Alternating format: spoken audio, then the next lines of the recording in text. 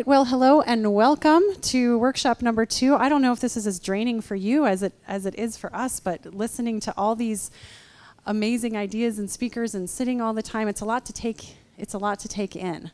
I think we get a big break after this, don't we? So we'll see if we can bear through. Dinner. That's a good break. Okay, so I, I have to use this uh, this microphone. Is everyone hearing me? Okay. I feel like there's some fans blowing and and things. You hear all right? Okay. Let us begin with a prayer, and then we will chat. In the name of the Father, and of the Son, and of the Holy Spirit, amen. Lord Jesus, we give you thanks for the opportunity to gather together to reflect on wisdom and to pray for the gift of wisdom. We ask that you would fill us with your Holy Spirit as we share and meet and reflect together. We ask that your Holy Spirit would come upon each and every one of us to open our ears to hear exactly what you want us to hear, that I would say what you want me to say, and that we would all submit ourselves to what you want us to do. Mother Mary, we ask you to wrap us up, to take this session into your mantle, into your loving care, and to pray for us, your children. Hail Mary, full of grace, the Lord is with thee. Blessed art thou among women and blessed is the fruit of thy womb, Jesus. Holy Mary, Mother of God, pray for us sinners, now and at the hour of our death. Amen. Name of the Father, and the Son, and the Holy Spirit. Amen. Oh, so it is, it is a pleasure to be here uh, in the midst of not just the, the speakers and the priests and the presenters, but all of you who are here to giving your time to come and to be fed, to be filled, and to live in the ministry and the mission that you have been given, that God has given to you. As I shared in my other workshop, it's always really my desire when I encounter groups of people, when I'm speaking to them, I, I wish we could all speak to each other. I wish I could hear your stories. What brought you here? Why are you at this conference? What are you receiving? What is the Lord sharing with you? If we have a little bit of time at the end, I'll open it up for comments, for sharing, for questions. Um, so also please be praying about if there's something that you think you're called to share during the course of this. Want to have an opportunity for you guys to um, to share that with the group as well, because we're all here to encourage and lift one another up as we reflect on these themes. So the the theme of divine wisdom, as I have been just kind of praying that the Holy Spirit would uh, lead lead me in my preparations. I was I was struggling a little bit, honestly, uh, with with just kind of the idea of okay, I'm I'm scheduled to go give these talks on divine wisdom. I'm supposed to come with something that's worth listening to, some insight that people are going to take with them. But wondering for myself, how how do I understand and experience divine wisdom? In my life. And I was thinking, you know, it's, it's actually been a very challenging couple of weeks uh, for me in some, some of the events that, that have taken place that have, they have the effect of making you question what is the wisdom behind this. So you, all have stories like this too, but it seems like it's really been piling for me lately. Some very sad and, and tragic things that happened. My parents um, live in an area in Ohio that was hit by a devastating tornado about a month ago, and they, they were unharmed, but many friends and um, businesses and things in the area just just devastated by this act of nature that comes through. You know, and it didn't touch me directly, but it's just one of those moments. It was close enough. It's my hometown. You know, those are those are places and people that I have connections to, and say, okay, why does God let that happen. And then receiving news um, about two weeks ago from a very dear friend of mine, also from Ohio. I wonder if there's a connection with Ohio and bad things. Also, a, a friend from Dayton, Ohio, where I grew up, who has um, has children who are very similar in age to mine. Her youngest is also two and a half. And she just received news that her little two and a half year old girl has leukemia. You know, she she thought it was the flu, and they went in for a doctor's uh, exam and ended up going to the ER and is now going through uh, the chemotherapy. And you have a story like this too. That's Rachel. Oh, you know Rachel. Hi. You're, are you from Dayton? Okay. The Sackstetters and the Bonds. Okay. So, yeah, so here's a picture. Okay, so you're praying for this story too. Okay. So, little Teresa, sweet little girl, going through all this horrible treatment. Um, oh my gosh. And Rachel, I don't know how well you know Rachel, but what a woman of faith and in the midst of just these these terrible circumstances unfolding in her life and the fear for the life of her child. And it hits me too, not only because I love Rachel, but I have a two and a half year old son who, who gets on my nerves sometimes. And, you know, but when you think about, okay, what if this was my news? And what if I was dealing with this? And why, God, are you doing this to Rachel, such a good and faithful woman who never wanted anything but to get married and have children and to raise her children to be holy? And she's, she's struggling to have joy in the midst of these difficult things, you know? And, and I have a, a cousin who has been struggling to save a very, very difficult marriage um, with an abusive husband. She's been struggling for years and, and trying everything to try to make this work. And, and in this last week, she really feels through much prayer and discernment that, that she has to separate for the safety of herself and her children. Like, God, why? She has been so faithful. She has prayed. She has really really tried to seek your will in this. Why is this not working out? Why are you not converting his heart? Why are you not healing the baby with leukemia? Why are you sending tornadoes? Why can my, you know, sister-in-law not have a baby? Why, you know, like these and you you have these stories too, but I was just reflecting like it's it's really hard to comprehend God's wisdom. It's hard to understand what God's plan is and why he lets the world unfold this way. It's you know whatever. It's it's just sort of the problem of evil and we all deal with it. And you all have your ways that you've navigated these questions in your life. I, I get it. It's just been hitting me a little bit in particular as I'm preparing these lectures on divine wisdom and thinking, okay, God, you know the paradox of the cross and and it's it's uh, foolishness to the Greeks and whatever it is to the Gentiles. You know, it's it's uh, it's a sense of we're not going to get it, we're not going to understand. Don't even try.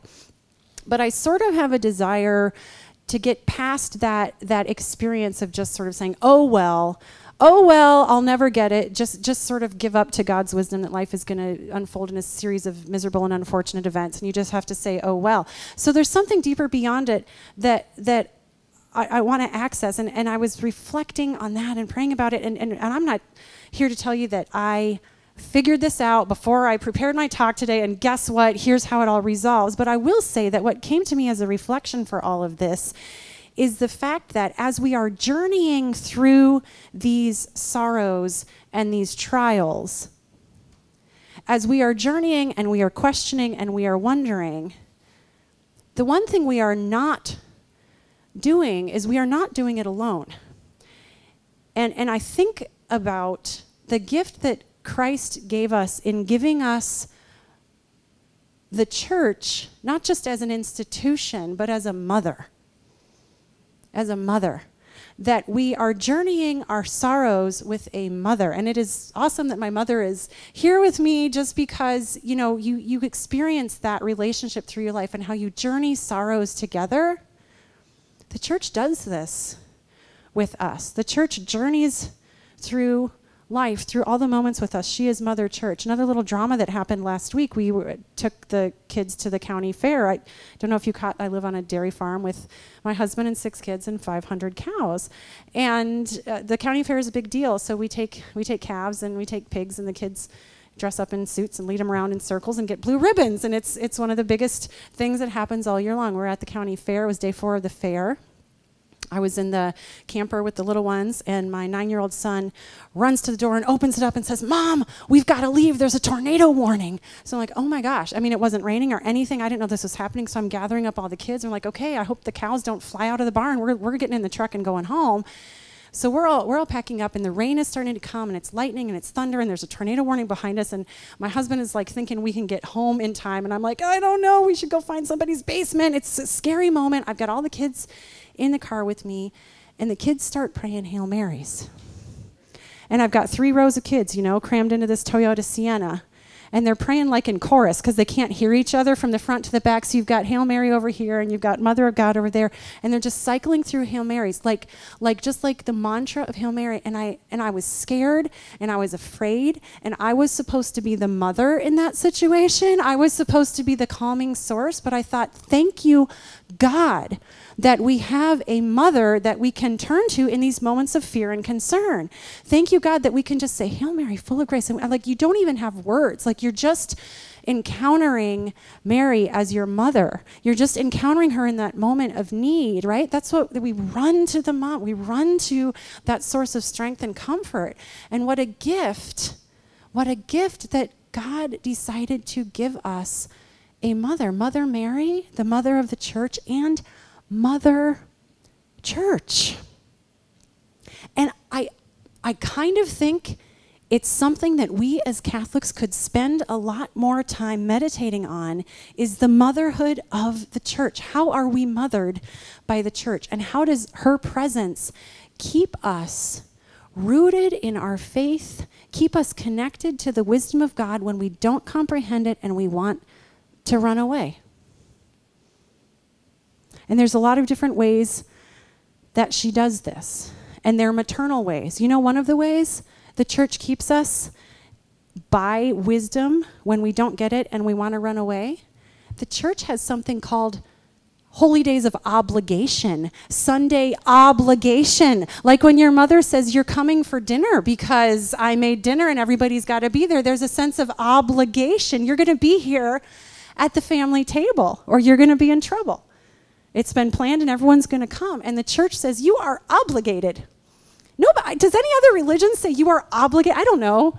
You are obligated. You've got to come. It's not an option. You've got to come. At least once a week, you have got to show up. You have got to be at this table. I don't care what mood you're in. I don't care how busy you are. I don't care how tired you are. You have got to come. You are obligated. Does that sound like a mother? Yeah, sometimes. Because she knows it's good for you. The church requires us to stay in contact with her. So when I want to walk away, when I don't understand, when I want to go look somewhere else for some solution or some clarity, the church says, You stay here. You stay here. You keep coming back. And you know what happens when she forces us to come to church? We are forced to listen to the Word of God. We are forced to hear with our ears the Word of God, the living Word of God speaking to us. And our mother brings us there and says, You sit down and you hear the word of God spoken to you. And you immerse yourself in wisdom. You don't have to get it, you don't have to love it, you don't have to have emotional response to it, but you have got to be in contact with wisdom. The church keeps us in contact with wisdom. When we don't get it in our heads, when we might feel like being elsewhere, being Catholics means we are kept in contact with wisdom we are kept in contact with the living waters. So there is, there is wisdom there. Okay. Those are my introductory comments. Now, uh, to the, to the handout and to the point and to the scriptures and to all these things about Mother Church and wisdom. First off, I wanted to reflect on Matthew chapter 13. This is, I think, um, the first scripture. So this this handout, by the way, is just going to kind of chart through the quotes that I'll be sharing, so you have a written version of them as as we go. Matthew chapter 13, verses 45 to 46. The pearl of great price. Again, the kingdom of heaven is like a merchant in search of fine pearls, who on finding one pearl of great value, went and sold all that he had and bought it. This this verse came to me in, in conjunction with the church because I thought about the witness of all the religious men and women who have sold everything for the pearl of great price. The witness of the men and women who have given their lives as priests, as sisters, as religious, who literally have left everything behind, made sacrifices of everything that the wisdom of the world would say you need to have for happiness, have sacrificed it for the pearl of great price for the church. Okay? You, you all may have caught that my brother, Father Anthony, is here as one of the speakers as well. Personal connection for me with the, the, the witnessing of a vocation unfolding in my brother's life. And knowing, knowing the sacrifices that he made and knowing, you know, what, what worldly successes could have been before him with the incredible gifts that God gave him, and to lay it all down for the church, for the love of the church, not just for Jesus Christ. You can go be a Christian anywhere. You can only lay down your life in complete sacrificial love for the Catholic Church in the way that a priest or a sister does it. That vocation is uniquely a Catholic thing. That pearl of great price that literally gives a witness to the world of laying everything down is a uniquely Catholic thing. And it shows us that there is something worth sacrificing for. It is a witness. And those of us who may not have made such a dramatic sacrifice in our lives as lay people should never ever forget the witness of the men and women religious who have done this. And it should be a reminder and a call to us at every moment to never take for granted the pearl of great price that others have sacrificed everything for. And you know what else this makes me think about? It makes me think about the scandals and it makes me think of the incredible tragedy of the, the, the, pearl of great price not being valued for what it is, right? Uh, uh, of, of those who haven't loved the church as she is meant to be loved, and those whose witness has been led astray, you know. And we have to recognize that that is not the actual sign of the church and who she is. It is the witness of those who have made the sacrifices that reminds us the value and the beauty of the church. So I just want to start on that note of saying this is a pearl of great price. This church that we belong to, this mother church, this is a pearl of great price. It is up to us to understand and to reflect on what what is the value? What is the treasure? Why are people giving up everything in their lives to pursue a religious vocation? What, what is it about Mother Church that is worth all of this? We need to reflect on this, and specifically the maternal aspect, Mother Church. The way I first started reflecting on these themes and how, how my book on Mother Church was born was um, it was it was uh, moment, it wasn't something I expected to be reflecting on or, or working on in the course of my writing. I did a lot of writing about women saints and virtues and things like this. Um, and, and in the course of some of that work, I was invited to participate in a seminar at the Vatican reflecting on the 25th anniversary of Pope John Paul II's letter, Mulieris Dignitatem, on the dignity and vocation of women. That letter was very instrumental in my life and my conversion. I had had uh, some angry secular feminist influences in my life. I encountered that document talking about the true dignity of femininity and womanhood in the light of faith, in the light of Christ. It, among other things, had been instrumental in bringing me back to understand that I had a place and a mission within the church as a woman, that my freedom and my flourishing was actually to be found in the heart of the church, not outside of it. So I was invited to come and join in a group of 100 women from around the world reflecting on the themes and the ideas in Pope John Paul II's encyclical on the dignity and vocation of women.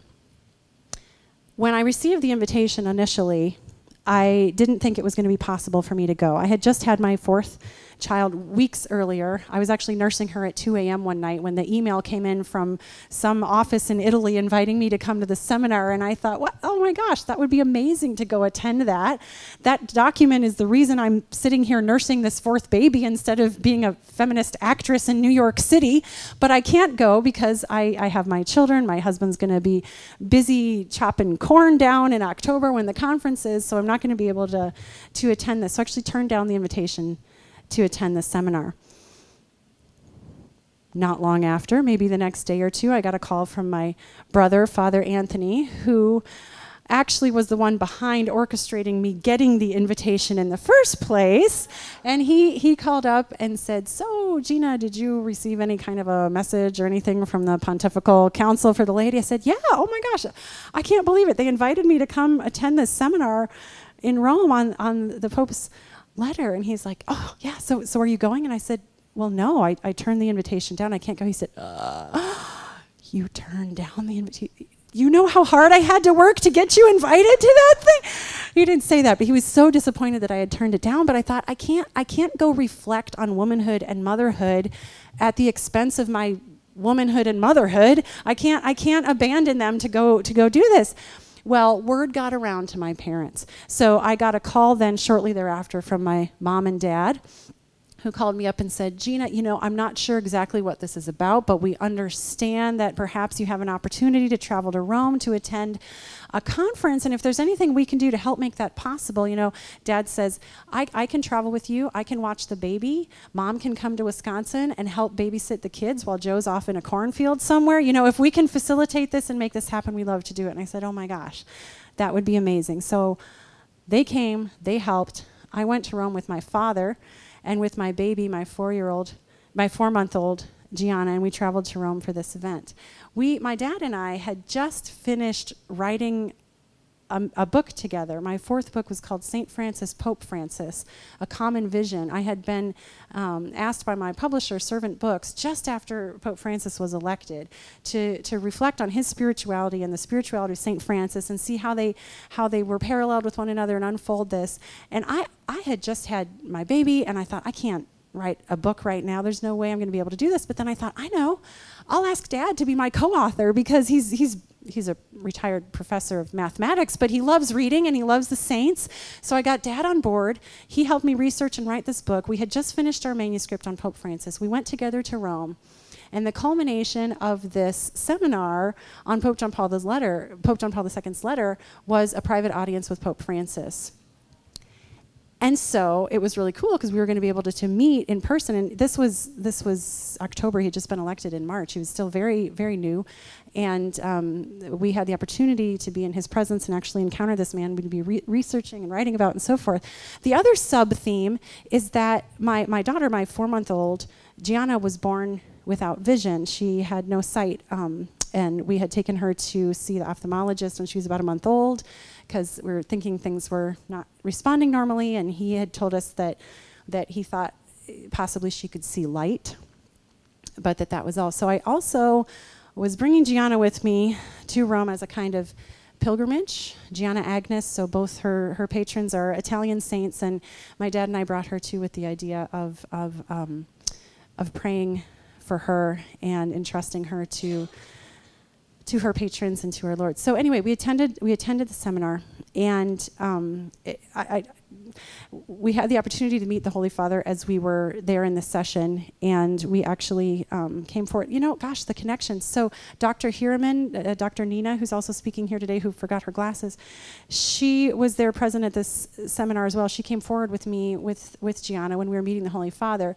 and she's the one who speaks like 12 languages, and I don't speak any. So I had arranged with her. I said, Nina, when we get up there, will you tell the Holy Father in Italian that Gianna can't see and ask for a blessing?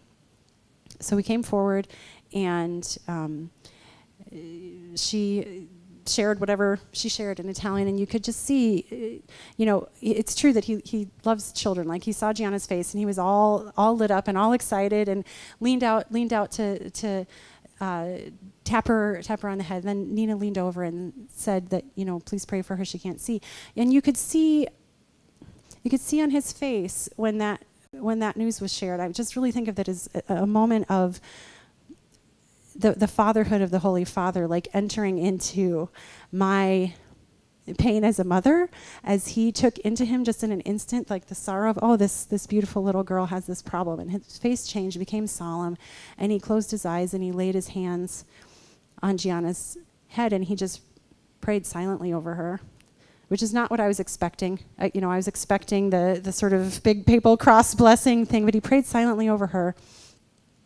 And um, I had this sense of like Mother Church loves us and cares for us. And one of the things Mother Church gives us is a Holy Father. Like it's also balanced when you think of it. Mother Church gives us a Holy Father. Here's this Holy Father praying with this mother over her child. Like literally the concrete I have a need, I have a sorrow. I don't get why God gave me this cross to bear with this child, but I am bringing her here because circumstances have uh, miraculously arranged it to bring her before Mother Church and to bring her before the love of a Holy Father who is truly in that moment. I mean, it was a very concrete, real, human moment of encounter where he took her pain into his heart and he prayed over her. And it's that kind of experience of Mother Church keeping us rooted and connected in the deepest sorrows of our lives. Like the deepest sorrow to have a child with a disability. What a deep sorrow. What a why, Lord, kind of thing. And to just have the church standing there laying hands on her. It was such a moment of healing. It was such a moment of healing for me to say, it does not matter. It doesn't matter that she's going to have this obstacle to deal with. She is wrapped in the arms of Mother Church. She is wrapped in God's providence, and it is as concrete as a man's hand on her head. It is that tangible. It is that real. Mother Church keeps things that real for us. And of course, you know, we got back to the convent where we were staying after the meeting, and I'm, I'm looking at Gianna's eyes. I'm watching for her to have some sort of miracle of, of regained vision, you know, because you kind of think like the Pope's prayers might be a little more effective than mine. It, it wasn't that.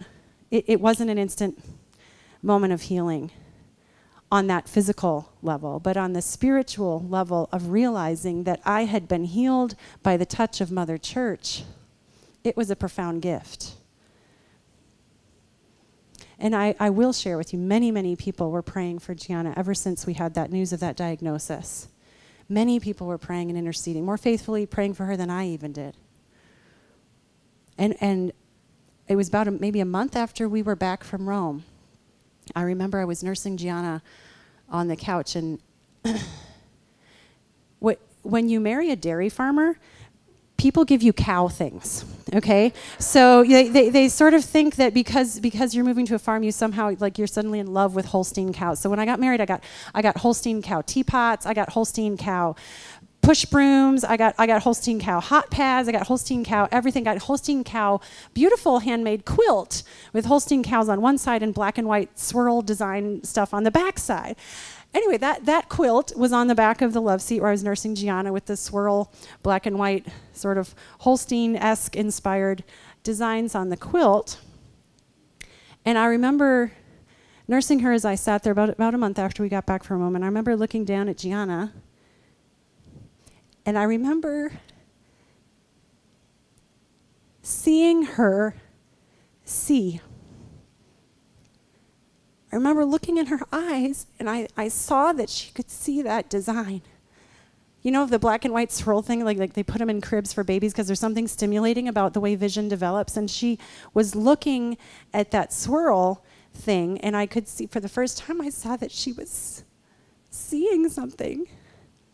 And it wasn't like her vision wasn't completely returned or, or anything, but it was, it was the beginning of an unfolding where slowly over time, God gave her her vision, you know? And we, we sometimes are looking for Mother Church to interact in our lives in these clear, understandable, definable, reasonable, rational ways. Pope prayed over child, child regains vision that instant, right? That would be sort of the clear, rational thing. I don't know what kind of a miracle this was or how or whose prayers, or maybe it would have happened even if you know, we hadn't been prayed over by the Pope. I, I don't know. I just know that over the course of time, God's grace, God's gift, whatever that miracle was, it was like a slow unfolding miracle that all began in the heart of Mother Church, who loved me and loved her in that moment. And that's the kind of concrete thing Mother Church does for us. She loves us in our sorrow and our weakness.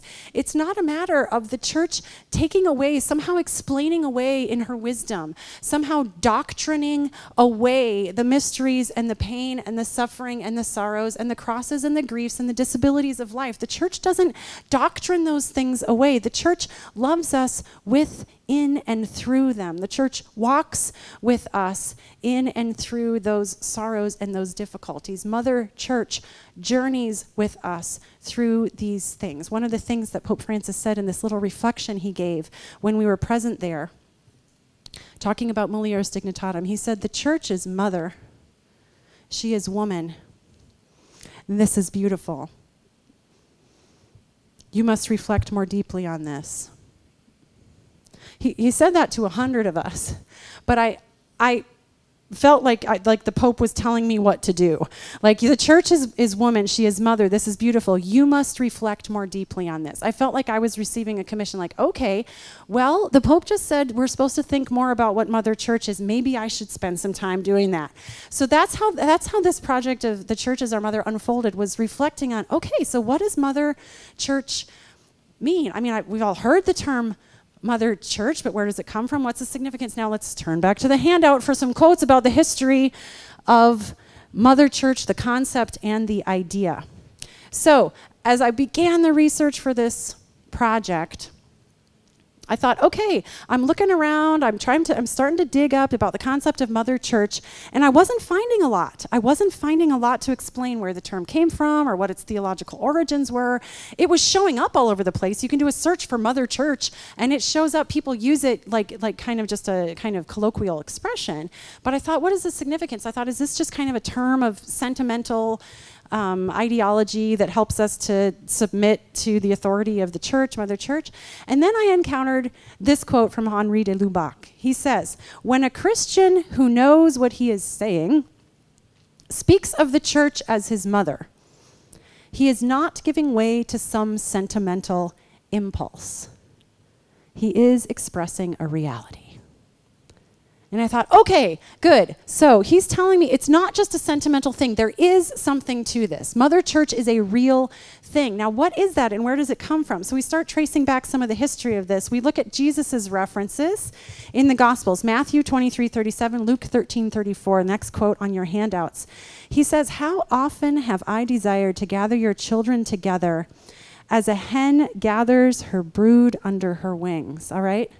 Now, St. Augustine interpreted that passage to be a reference to Mother Church. Augustine interpreted the mother hen to be the church that Jesus commissioned to carry on the motherly task that he began on earth. That's right, Jesus began the motherly task of establishing the church and her sacraments that love us and walk through life with us as a mother does. So, this is the first reference that I was able to find in terms of the maternal imagery of the church coming from Jesus himself, interpreted by Augustine. St. Paul uses maternal imagery talking about the church, looking at Galatians chapter 4 verse 19. My little children, for whom I am again in the pain of childbirth until Christ is formed in you. And here's what John Paul II has to say about that line from Paul. John Paul II says, in order to illustrate the church's fundamental mission, Paul finds nothing better than the reference to motherhood. So, St. John Paul II recognized in Paul the importance and centrality of a maternal image to talk about who the church is and what she does for us. The church's fundamental mission. Paul uses the imagery of motherhood. I am again in the pain of childbirth. What does the Catechism tell us? About Mother Church, we have from Catechism 808. The church is the bride of Christ. He loved her, He handed Himself over for her.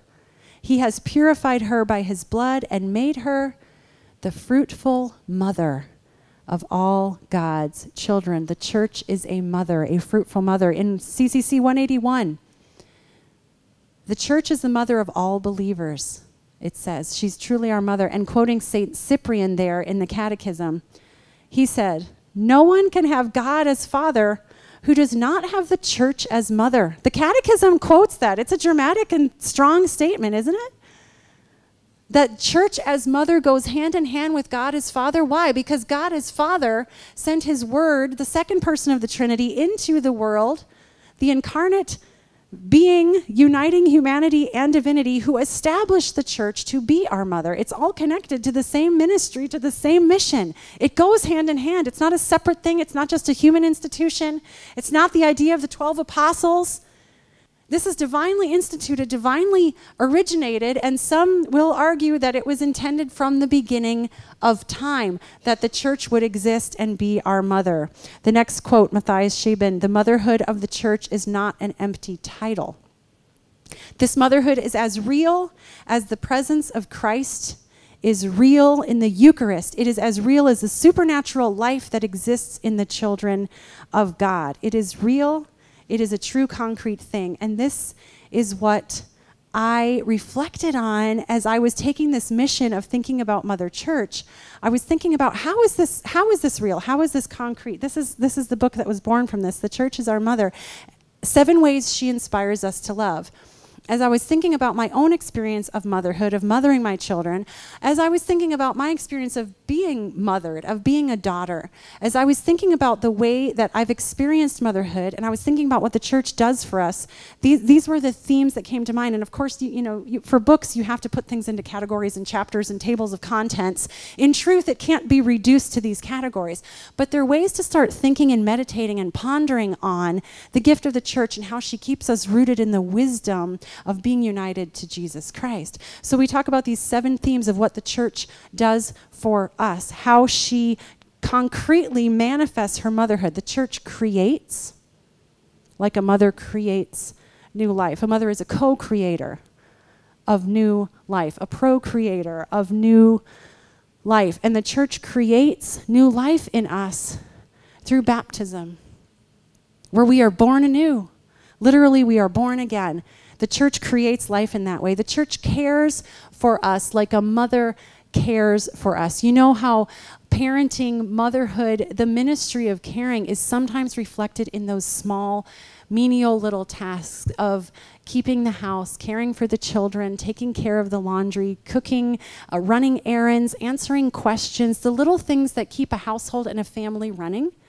The church does this for us in, in the form of like a parish structure, a pastor, and staff employees and someone who keeps the coffee fresh. And the church does this in structures like the USCCB, the United States Conference of Catholic Bishops, with their offices and their, their organizations, their housekeeping. Sometimes it seems so unspiritual. Sometimes it seems so bureaucratic. Sometimes it seems like so much busyness. But you know what? As a mother, unloading the dishwasher morning after morning after morning also feels very unspiritual, but it has to be done. It's part of the caring. You don't just create these children and then set them loose with no structures, no guidelines, no support, no caring. The church does this for us in her concrete structural ways.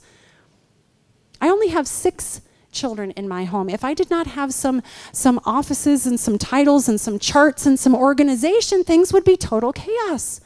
Think about how many children the church has to organize and oversee. She cares for us through the diocesan and the archdiocesan and the curial structures. She creates, she cares, she teaches. Mothers teach their children. We accompany our children from the earliest learning of how to walk and how to eat and how to smile and how to talk and how to love and into the deeper questions through lives. We teach Mother Church, of course, the ministry, the charism of teaching through the magisterium, through the doctrines that unfold the truth of God's word for us. Create, care, teach, acceptance. Mothers built somehow, intuitively built to accept and love their children no matter what unconditionally. To always to always be ready to welcome, to always have a heart for the child, especially for the lost and the suffering one. And this is Mother Church, who always is ready to welcome her children who want to come back home to her arms. This is Mother Church.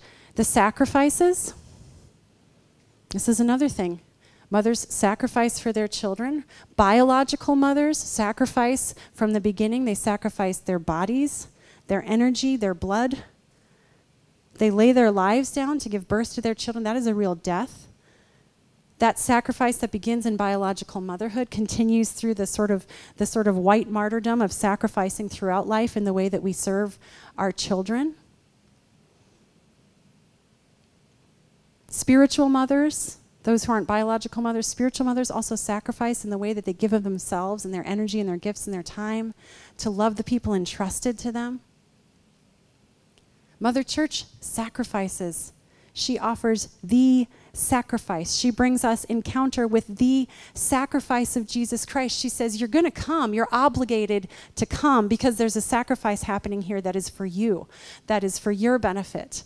Mother Church raises up that sacrifice. It, the Catholic Church keeps the sacrifice alive. The Catholic Church is what enables us to have the sacrifice of the Mass, to have the sacrifice of the cross represented at the Eucharist.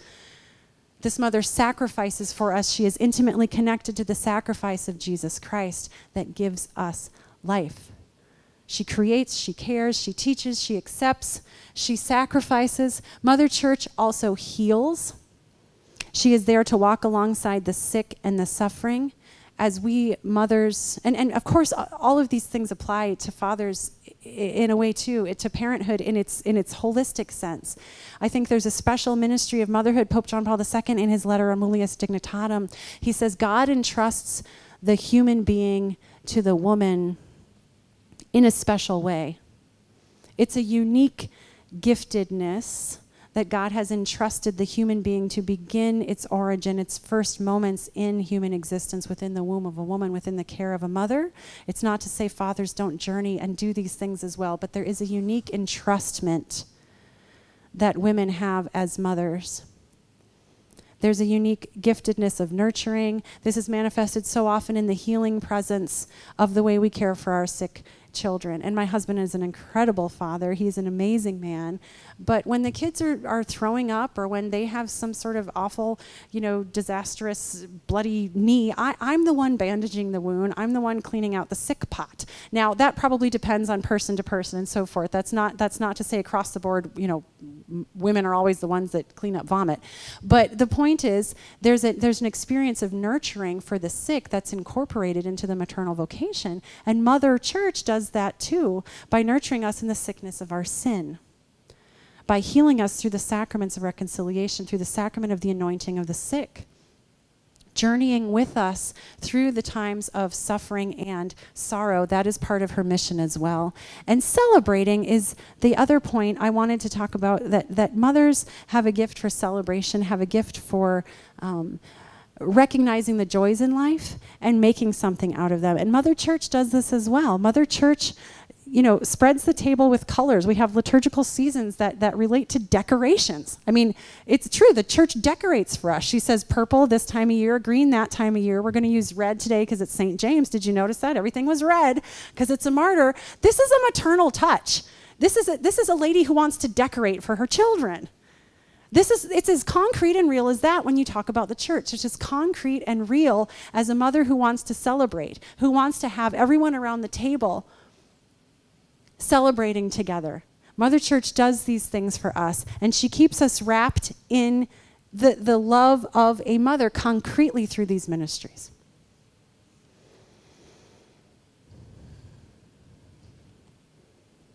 Psalm 1. I shared this last night when I was talking about this workshop. We are at the middle of page one on your handout. We talked about the image of being the tree planted near running water. Blessed the man who follows not the counsel of the wicked, nor walks in the way of sinners, nor sits in the company of the insolent, but delights in the law of the Lord and meditates on his law day and night. The law makes me think of the church because the church upholds the law. The church helps us understand the law. The church helps us to reflect on. The magisterium helps us to clarify the law. The church tells us we have got to keep the laws. The church keeps us in line with the law of the Lord. It keeps us meditating on the law day and night. Being members of the church keeps us with the law when we might rather go elsewhere. That is one of the beautiful things about this faith of ours that has obligations and that has definitions about what's okay and what's not. That is Mother Church keeping us with the law. It is keeping us planted near running water. We yield it, it yields its fruit in due season, whose leaves never fade. Whatever he does prospers. Mother Church keeps us by the running water. She says, You have got to stay here. You come and you be here because I know it's good for you and I want to care for you and I want to teach you and I want to heal you and I want to celebrate with you. So you be here because I'm going to keep you where you need to be. Even when you're suffering, even when you don't understand, even when it doesn't make sense, but not so the wicked. They're like chaff which the wind drives away. For the Lord watches over the way of the just, but the way of the wicked vanishes. By staying connected to Mother Church, we are preserved from vanishing. We are preserved in spite of ourselves, in spite of our questions and our lack of understanding and our sinfulness. We are preserved from vanishing. John 15, 5, 9 to 10, the vine and the branches. I'm the vine, Jesus says, you're the branches. Whoever remains in me and I in him will bear much fruit. Because without me, you can do nothing. We have to be connected to the vine. We have to be connected to the vine Put that in conjunction with at the top of the next page, page 2, Colossians 1:24, St. Paul. He says, "Now I rejoice in what I'm suffering for you. I fill up in my flesh what's still lacking." In regard to Christ's afflictions for the sake of his body, which is the church. The church is the body of Christ. The church is the body of Christ. We have to be connected to Christ, who is the vine. The church keeps us on the vine. The church helps us to stay connected to the living waters. The church keeps us where we need to be. We need to remain faithful to Mother Church, who wants us to remain faithful to Jesus Christ. We need to remain faithful to Mother Church even when others have abandoned her, even when others have spoiled her reputation through their falsehood, we need to remain faithful to Mother Church who wants us to stay connected to the vine. I think about the wisdom of Mother Church keeping us from vanishing, and I want to share two different women, two different mothers, Anna and Hannah. Anna is a mother of eight her oldest is a freshman in college, her youngest is two months old. And she's a woman who is part of my uh, mom's fellowship group at my church.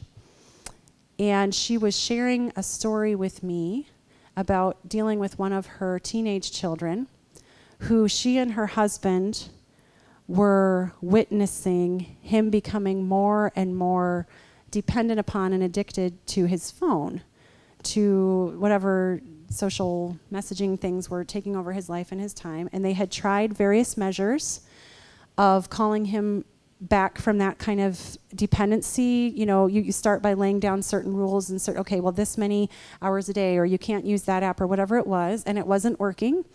And he was continuing to be ruled and to be sucked into this machine and this device. And, and I, I, will say, I don't think that his addiction to this device was probably any more dramatic than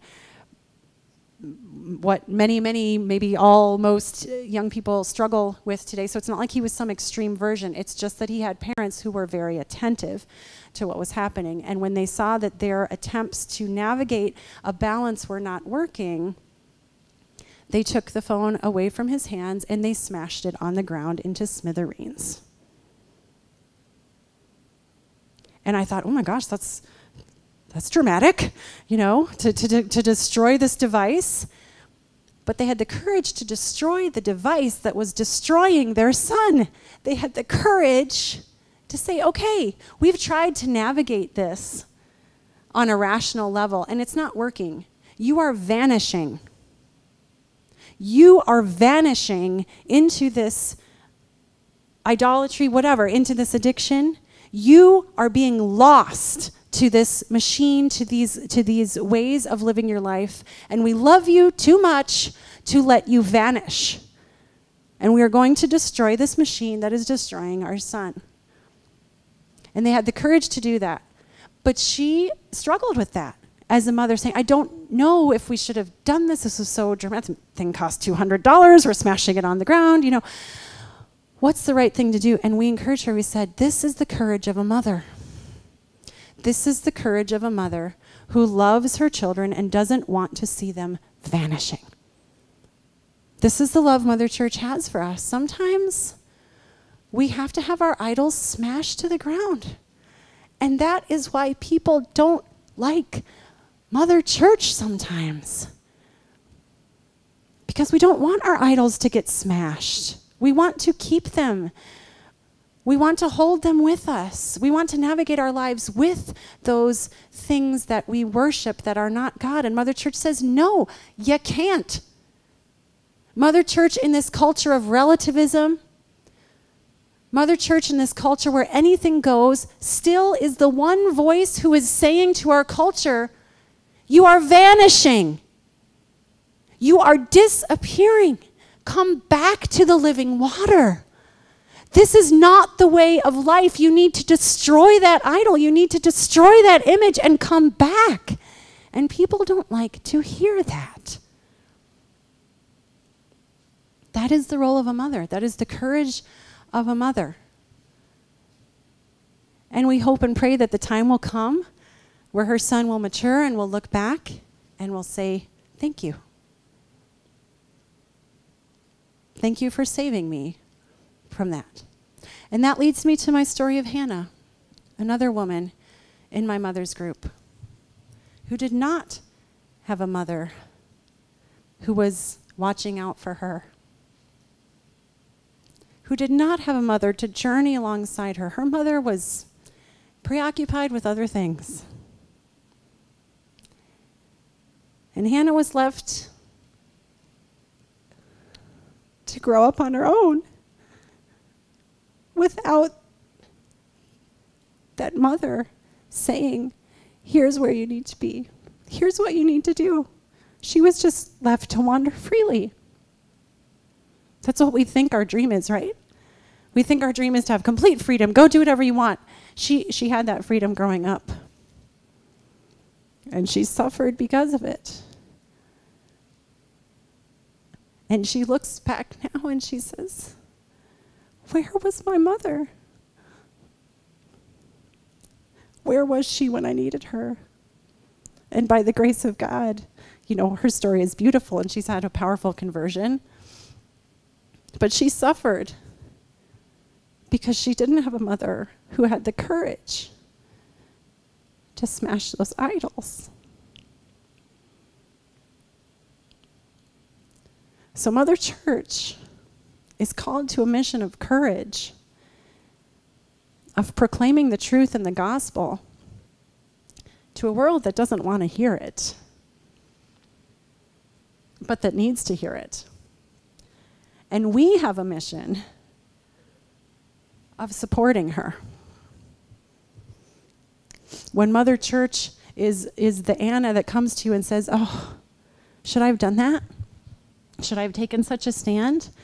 When our Mother Church is suffering, because she is holding to the truth, because she is proclaiming the gospel, because she is saying such basic fundamental truths and realities as things like marriage is between a man and a woman, such fundamental realities as there is such thing as a man and a woman when our church is proclaiming the value of life from conception until natural death when our church is talking about the importance of, of, of openness to welcoming life i mean all these things the church says that is smashing idols of the culture we have got to have the courage to support mother church and say yes yes that is right. You do that. You preach that. This is my church. I support you. You know, whatever that is, however that manifests in the preaching of our, of our priests, in the teaching of our catechists, we are supportive in the leadership of our bishops, whatever. I don't know how you're going to be called to uphold that mission of Mother Church, but we certainly are called to do it. We're called to support it. We're also called as members of the church to be that voice for Mother Church who is not afraid to preserve people from vanishing. Some people would rather vanish. It is our job to try to bring them to the living waters. And remember the story of Hannah, who after the fact said, Where were you? Where were you when I was vanishing? People may not ask for it, they may not look for it, but they'll appreciate it after the fact, and it's our mission. It's our mission to continue bringing people back to the waters of life. Okie dokes. The church keeps us rooted. The church keeps us connected to wisdom. How do we do this? Through the Holy Spirit. This is uh, this is a theme on page two: wisdom, the Holy Spirit, in the church. I don't I don't think I'll go through each of these quotes one by one, but I have here for you a collection of scripture verses that talk about the, uh, the importance of the Spirit in the life of the church and the connection between the Spirit and the truth and wisdom. And I think the one that, uh, yeah, Acts 6 3. It's kind of um, two thirds of the way down in that section Wisdom, the Holy Spirit, and the church. Acts chapter 6, verse, verse 3 Brothers, select from among you seven reputable men, filled with the Spirit and wisdom. Pick the leaders of the church, the ones that are filled with the Spirit and wisdom. So the church's mission, her leadership, is connected to this ministry of the Spirit and the gift of wisdom. This is what we call the magisterium. This is the teaching office of the church, established by Jesus Christ when he set up his structure of the 12 apostles and when the Holy Spirit came down upon them at Pentecost. This is still the structure that we have the benefit of living within as members of the Catholic Church. The magisterium is the spirit and wisdom and men who have been chosen to bring this charism to us. We live within this church. This church. This church established by Jesus. This church led by the Spirit. This church connected to the gift of wisdom. This church manifested in a collection of guys, men, people, chosen, human beings anointed with the gift of leadership through spirit and wisdom. This is the church. This is the church that we are called to love as mother, to have the benefit of. The church and her, her teaching is what unfolds as the Spirit leads the leaders of the church. However, that leadership of the church is also balanced and informed it is also guided and directed by the sense of the faithful, the sensus fidei, the sense of the faithful. We as lay people have a mission in the leadership and the guidance and the teaching and the direction of the church through the sensus fidei, the gift of our role as baptized believers who help to keep the doctrine of the church where it is meant to be. We'll get into that a little bit more in a moment. Wisdom is connected to Holy Spirit and the church. Wisdom and the church can both be understood as being intended by, by God to be connected, as being timeless and, and eternal in an interesting, connected way. We're going to look at several scriptures that unfold this. This is the next section Wisdom in the church as timeless. Book of Wisdom, chapter 7, verse 26 talking about wisdom itself. For she, wisdom, is a reflection of eternal light, a spotless mirror of the working of God, and an image of his goodness. So, wisdom has this, this sense of being eternal, being from the beginning of time. Sirach chapter 24, verses 3 and 9. Again, wisdom speaking I came forth from the mouth of the Most High and covered the earth like a mist. From eternity in the beginning, he created me. For eternity, I shall not cease to exist. Wisdom as being eternal. When we think of wisdom as uh, the word with a capital W, the Logos, the incarnate second person of the Trinity, these, these passages make sense. That, that from all of eternity, we had this wisdom of God, which eventually will become in time, in a moment of history, incarnate in the person of Jesus Christ. And that the church is so intimately connected to that mission that the church also has a timeless element to her being. Turn to page three of your handout, please. I want to share with you these quotes from St. John Paul II and Lumen Gentium number two, talking about the eternity of the church and God's plan. John Paul II is referring to this scripture passage above, Ephesians 3, chapter, chapter 3, verses 9 to 11. Here, Paul says, To make everyone see what is the plan of the mystery hidden for ages in God, who created all things, so that through the church, the wisdom of God in its rich variety might now be made known to the rulers and authorities in the heavenly places. This was in accordance with the eternal purpose that he has carried out in Christ Jesus our Lord. So it says here, through the church, the wisdom of God is made known, and that this was part of an eternal plan from the beginning, eternal, from the beginning. That, like, there's not, isn't even a beginning, from before the beginning. The church to bring us the wisdom of God. It's part of the plan. This is where John Paul II reflects on this, as is clear from this text above, talking about Ephesians 3 9 to 11. The church is part of the Christocentric plan designed by God the Father from all eternity. He says elsewhere that when, when seen in the perspective of the Father's eternal plan, the church appears from the beginning as the fruit of the infinite divine love, which unites the Father to the Son within the Trinity here we go now. The Mysterium Ecclesiae, right? The mystery of the church, thus finds its origin in the Mysterium Trinitatis.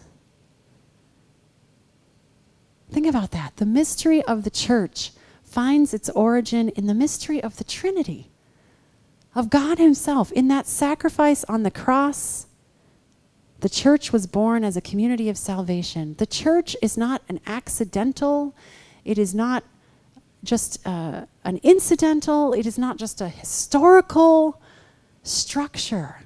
It is part of the mystery of the Trinity, it is part of the, the mystery of all history, of eternity. This is Mother Church. This is the gift we've been given. What a pearl! What a pearl of great price. Do we recognize the treasure in our midst? Do we reduce the church? Do we reduce the church to, uh, to a set of people and programs, operations, offices, doctrines, guidelines? Or do we behold the mystery of the church intended from all eternity to bring us into contact with the wisdom of God. Through the church, the wisdom of God in its rich variety might be made known.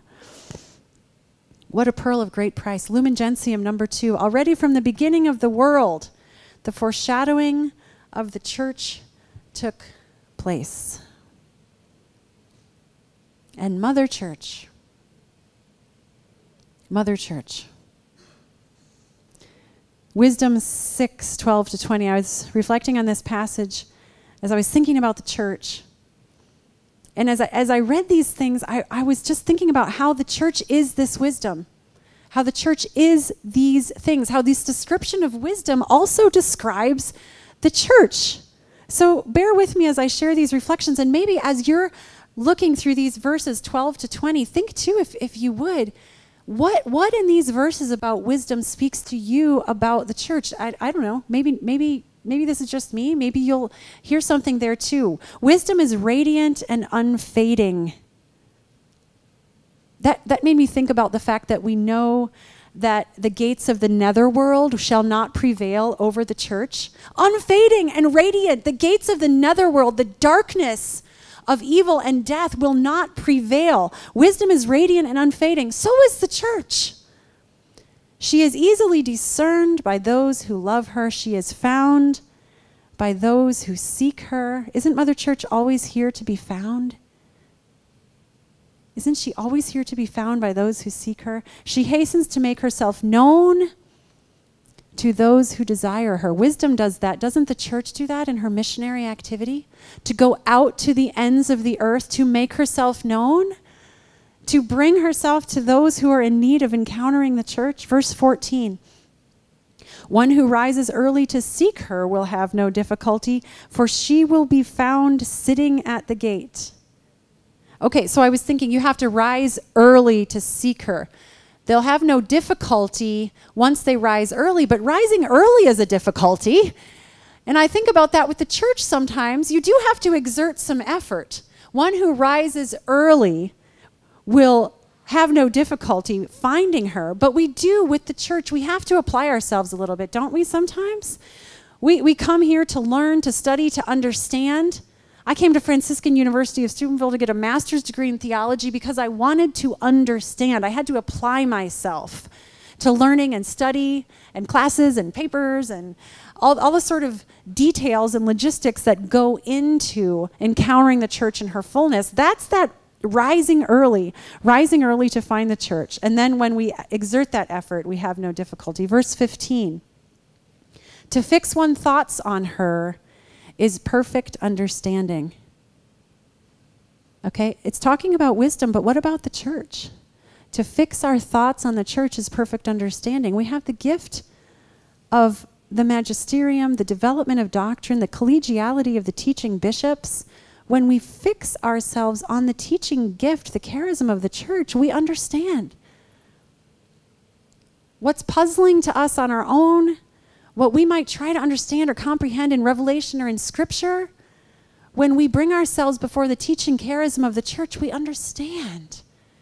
It clarifies for us. The church does this for us. One who is vigilant on her account will soon be free from care because she goes about seeking those worthy of her. Wisdom does that, so does the church.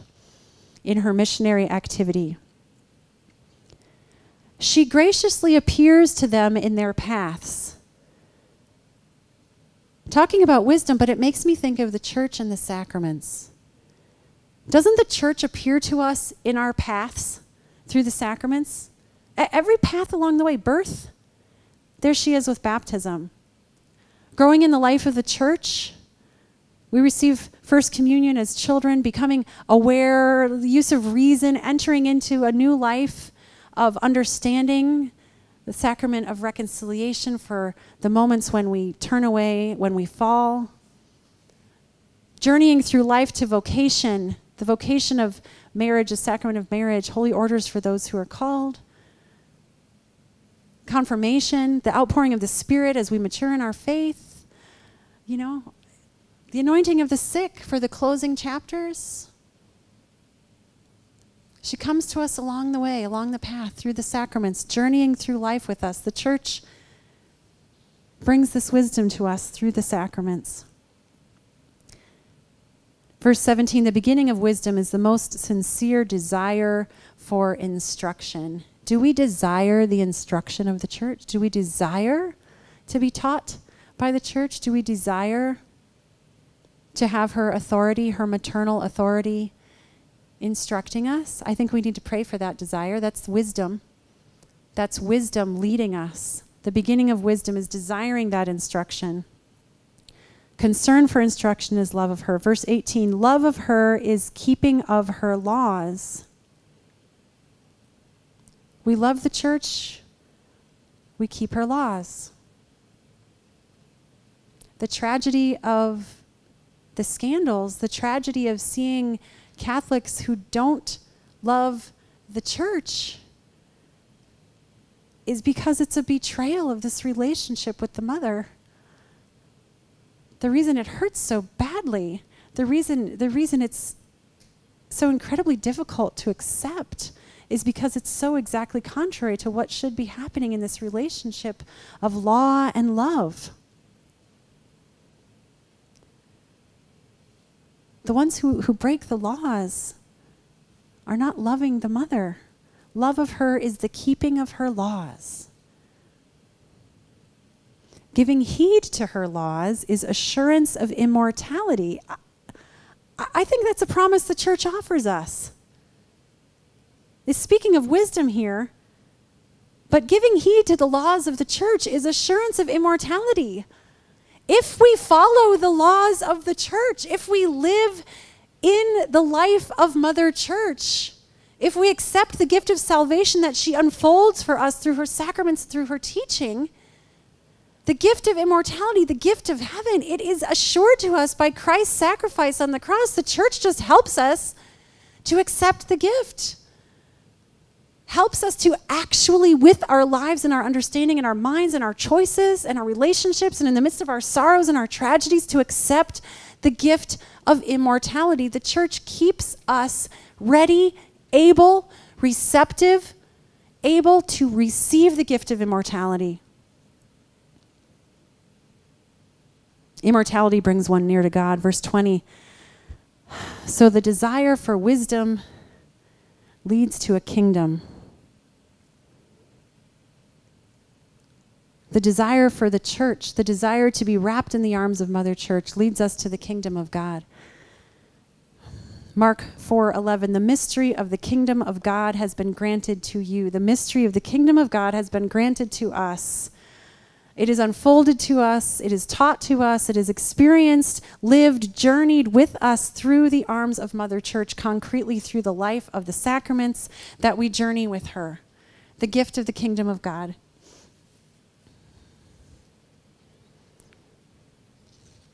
One more point on the sensus fidei, the faithful, and the instinct for the truth of the gospel. This is from a document called the Sensus Fidei in the Life of the Church from the International Theological Commission, released in 2014. It says, The faithful have an instinct for the truth of the gospel, which enables them to recognize and endorse authentic Christian doctrine and practice and to reject what is false. We have an instinct for the truth of the gospel as baptized believers. This sense fosters true wisdom. And it says that the magisterium has to be attentive to the sense, the sensus fidelium. That's the, ch- the, the whole church gathered together. But the judgment regarding the authenticity of the sense of the faithful is not just left to the faithful. Our sense of the faithful is also brought into context of the magisterium overseeing that. And it, it makes me think about a parent and a child learning and growing together. Okay? I think good parenting involves listening to the wisdom of our children.